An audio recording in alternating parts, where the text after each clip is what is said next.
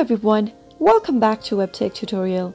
In today's video, I'll be helping you learn how to download Paylocity mobile application. Keep watching the video till the end to learn how and subscribe to our channel by hitting the subscribe button. Press the bell icon so that you'll never miss another update from us.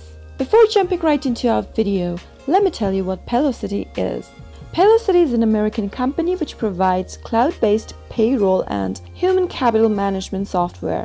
In order to download the application on your mobile device, go to your Play Store for your Android and go to your App Store for your iOS device. Search for Paylocity and once you find the app, tap on the install button. Wait until the app downloads on your device, tap open the application.